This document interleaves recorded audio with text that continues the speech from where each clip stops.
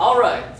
This morning we're going to look at 2 Corinthians 4. Basically, if you was to uh, pick up in chapter 2, Paul really starts dealing with the ministry and writing to the church specifically because this is to the church at Corinth. And so he's dealing with the ministry in context from chapter 2, mainly in, uh, starting in verse 14, on through the end of this chapter. So in part of chapter 3, it gets down and matter of fact, we'll just we'll just look at that and pick it up from there. But in verse number 13, as he's talking about the glorious and spiritual side of the ministry, he, he deals with the Old Testament example here of Moses and says in verse 13, And not as Moses, which put a veil over his face, that the children of Israel could not steadfastly look to the end of that which is abolished. Now, there's a lot in that verse right there. Uh, we never think about that. When we think about Moses coming down after those 40 days and 40 nights on the mountain and having that veil over his face so they looked on him, but they couldn't look on him because his face glowed with the glory of God. What Paul is saying is we as the church and where we are now have a more glorious unveiling, if you will. They couldn't see the end. That's why he said uh, the children of Israel could not steadfastly look to the end of that which is abolished. They couldn't see the end of the law. That was the start of the law. That was the beginning. They couldn't see the end. Now look at verse 14. But their minds were blinded. For until now notice there, uh, there it says, For until the day, until this day remaineth the same veil untaken away, and the reading of the Old Testament, which veil is done away in Christ. So he is saying to the Jews that as they still are living, a lot of them, and reading the Old Testament, keeping the Old Testament laws, that the veil is still on. They don't realize uh, that the veil is taken away and done away with in Christ. And that's what he said in verse 15. But even unto this day, when Moses is read, the veil is upon their heart. Then he goes on and talks about uh, how that we look through a glass dimly, and one day we're going to look face to face. And he picks up in chapter 4 here, in verse number 1 says, Therefore. Now, what is the therefore, therefore? you got to go back. That's why I want to go back and read uh, the context of where we're coming from uh, in this chapter here. So, taking everything into consideration that you have read before, basically, seeing we have this ministry. Now, first of all, uh, we got to understand that each and every one of us have a ministry. Now yours is different than mine. Uh, some people play in the band, some people keep nursery, other people do up send cards. But I want to tell you, you as a child of God, whether you realize it or not, you are a minister. He's writing to this church. He says, concretely, we have this ministry. It's of the utmost importance that you see your involvement in this church or your church as a ministry. Whatever it is, you got to see the importance of that. You and I will be accountable before a holy God of how we handle the affairs that God has placed in our hands. This ministry, the one that God has given you, whether you think it's significant or not, you are placed in the ministry here at Faith Baptist, even if it's in this Sunday school class. Whatever it is, everybody in here takes place in the part of this ministry. And we will be accountable before God. Then he says, uh, he says, in this ministry, as we have received mercy, we faint not. So, to the depth that we have received mercy. Now, how can you measure the mercy that God has bestowed upon each and every one of us. Well, we can't measure that. We can't measure the depth of the mercy that God has, but it's in that depth that we faint not. We continue to go on no matter what comes our way. We're to continue to be steadfast in the ministry that God has for us. Now, a lot of people will take this passage of scripture in these contexts and think, well, sure, that's for the Sunday school teacher, that's for the deacon, that's for the choir director, that's for the pastor, that's for the staff, that's got nothing to do with me. I want to say, brothers and sisters, you're in here. right. This is you. You are identified with Christ.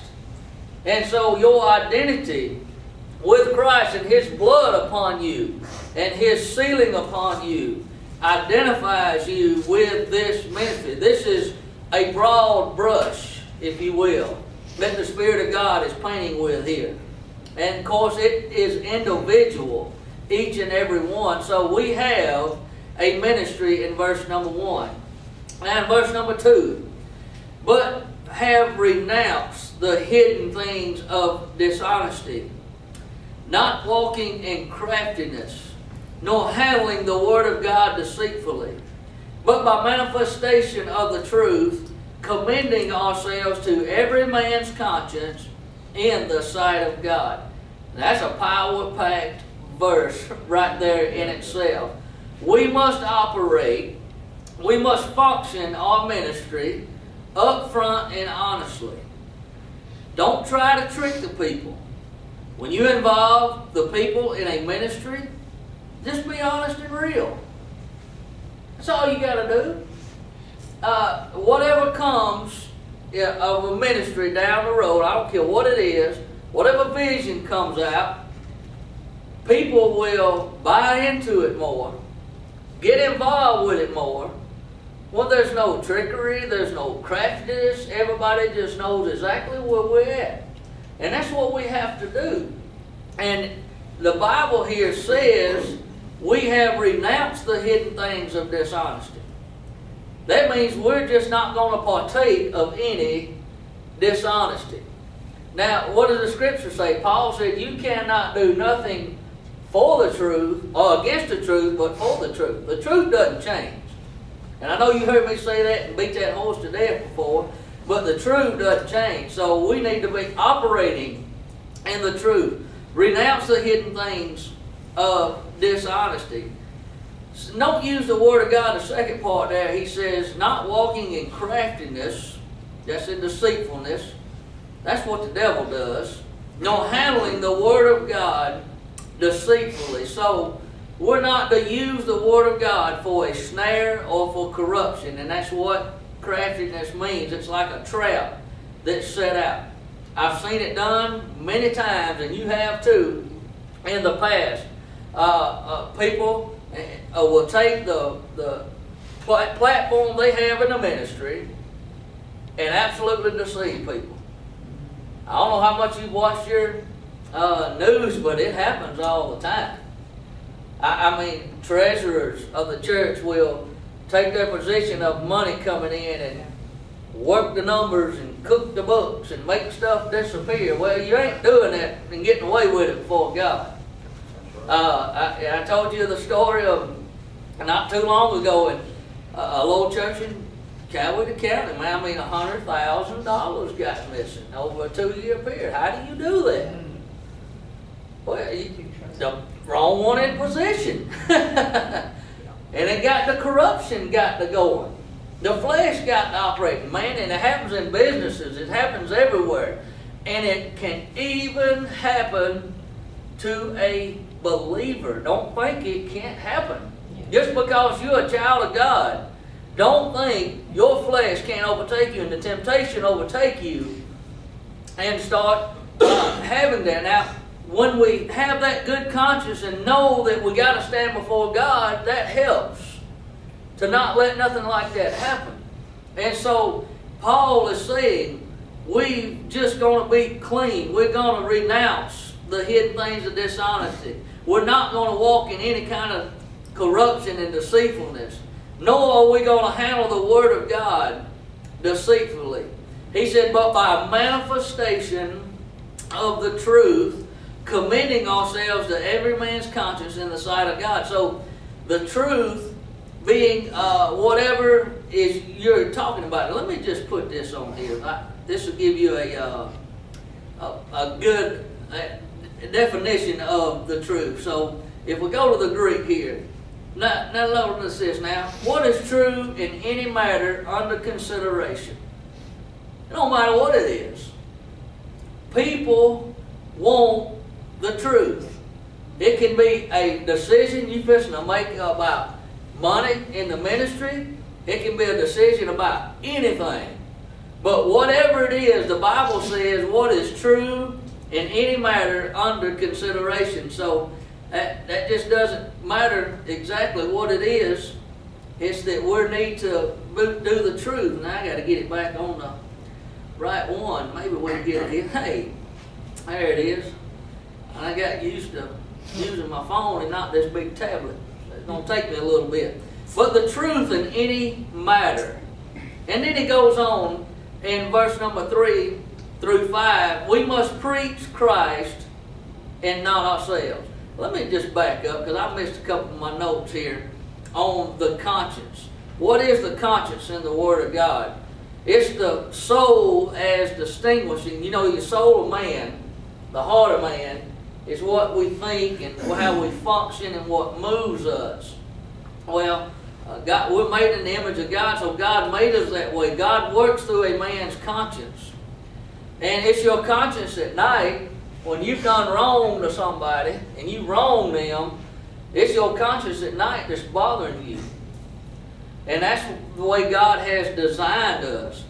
And people can uh, just sort of just cover that up and cover that up and cover that up and sweep it under the rug. But I want to tell you, if you're a child of God, the sweet Holy Ghost is just, He's going to knock on your heart's door. He's going to say, listen, don't you even try to bring your gift to the altar.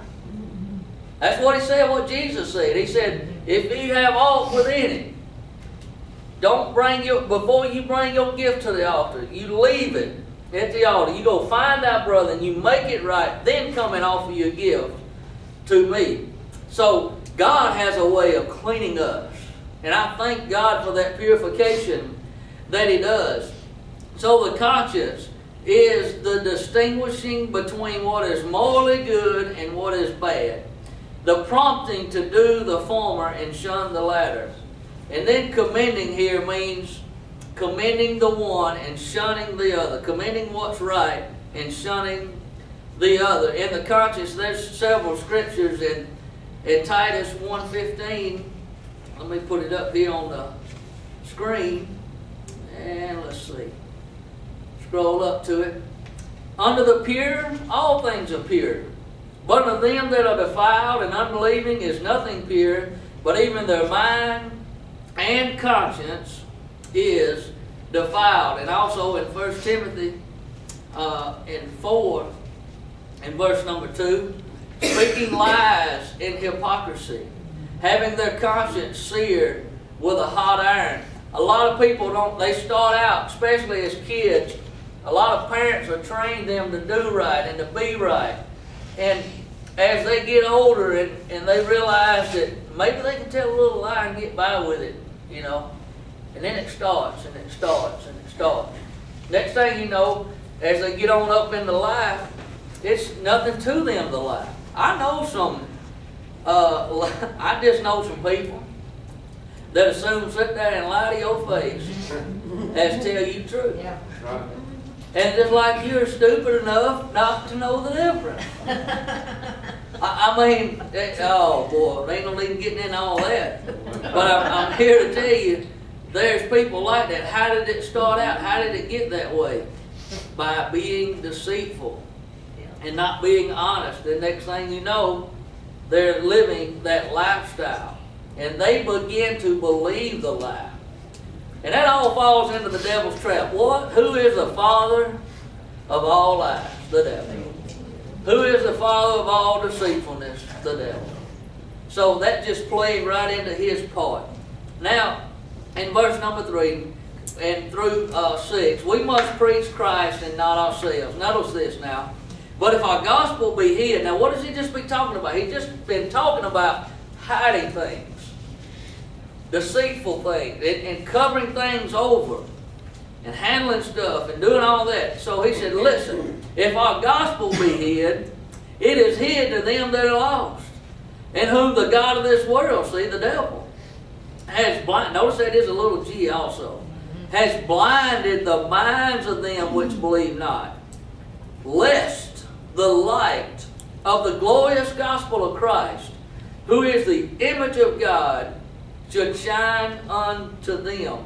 He is the image. What did Paul say in book of Colossians? I think it's chapter 1 and around verse 15. Who is the image of the invisible God, the firstborn among every creature. So Jesus Christ is the image.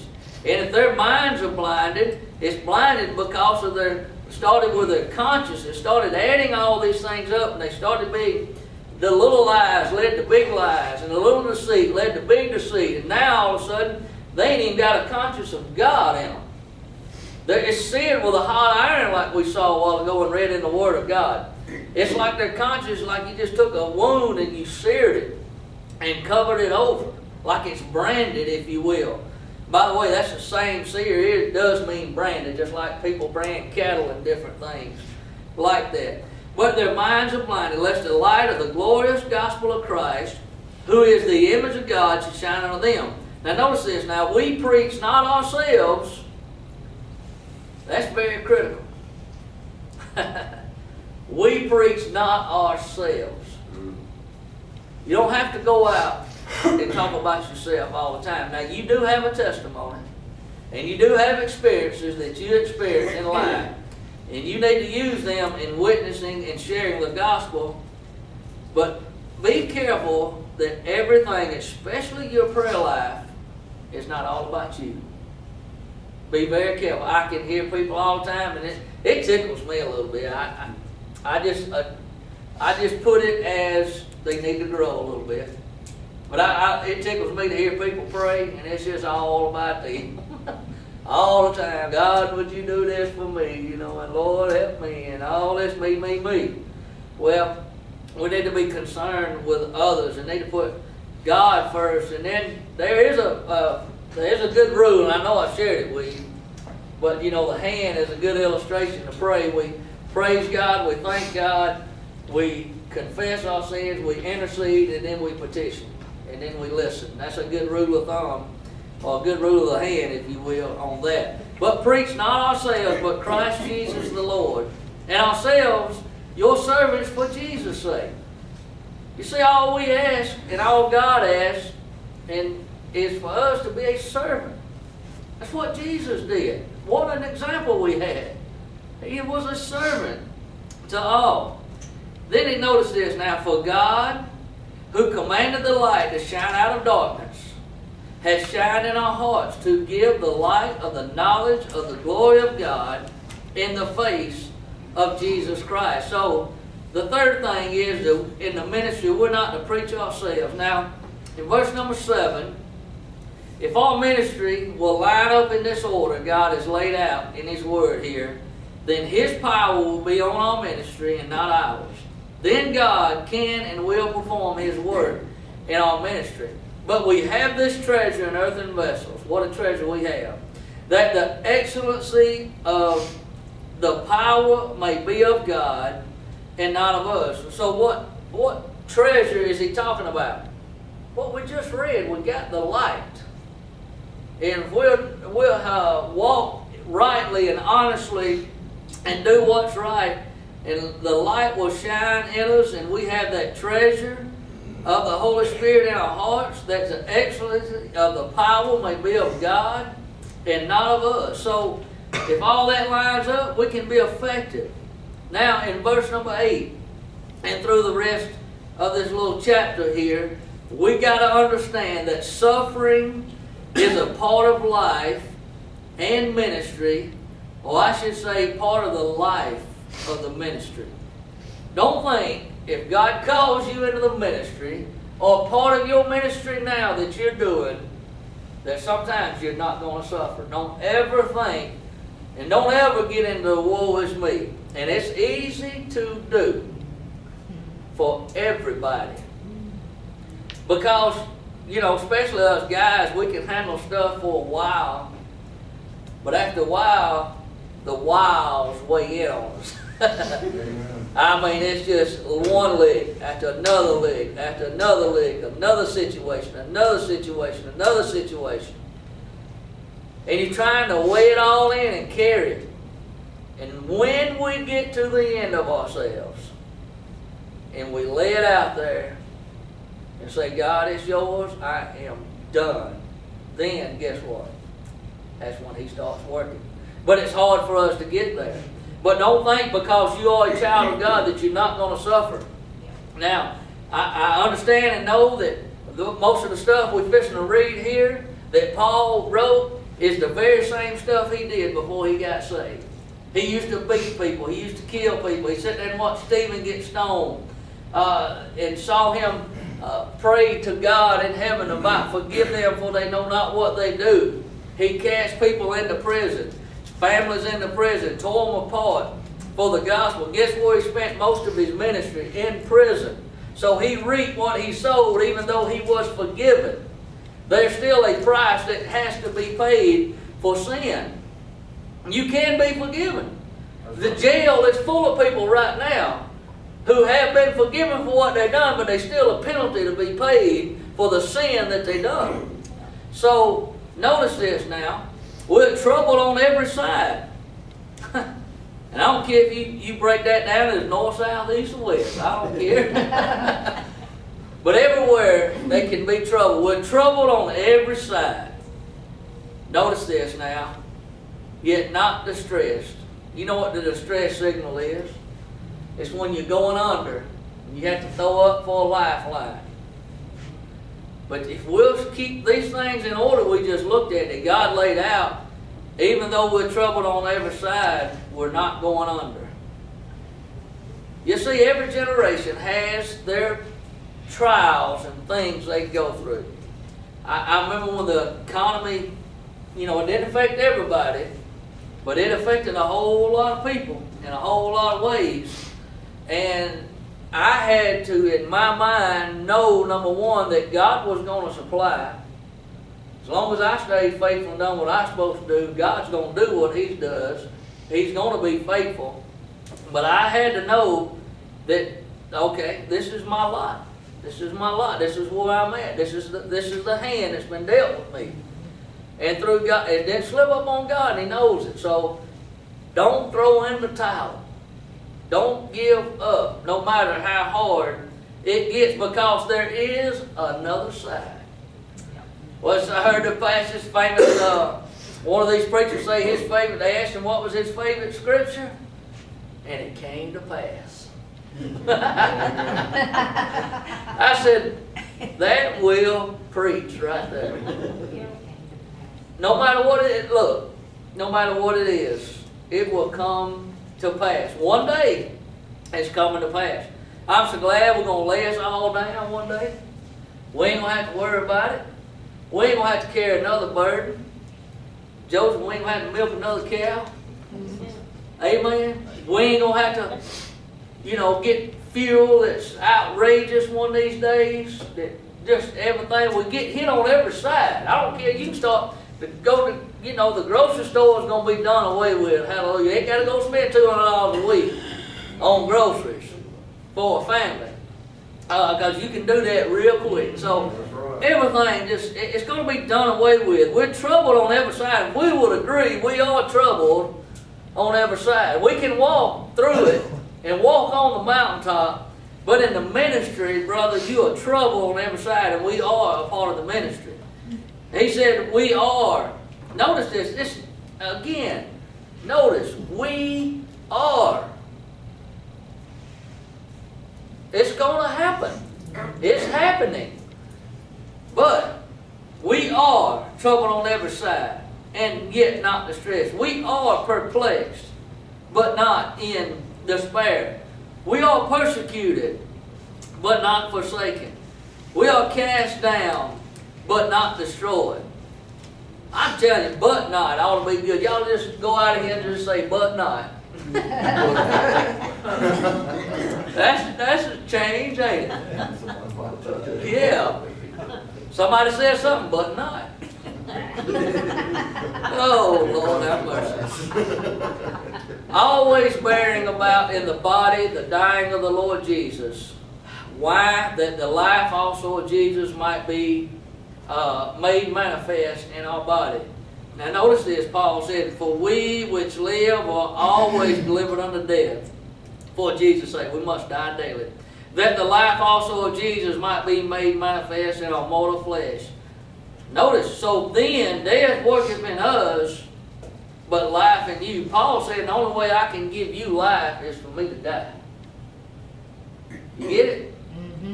And the only way that God can give us a life is for us to die. every day. Take up your cross daily and follow me. Die to yourself every day and let God live through you. The life that I now live in the flesh, I live by the faith of the Son of God who loved me and gave himself for me. Then he says, we, I like his unity here, we having the same spirit of faith, according as it is written, I believed, and therefore have I spoken. We also believe, and therefore we speak, knowing that he which raised up the Lord Jesus shall raise us up also by Jesus, and shall present us with you. For all things are for your sakes, that the abundant grace might, through the thanksgiving of many, redound unto the glory of God. And so for which this cause we faint not, but though our outward man perish, yet the inward man is renewed day by day.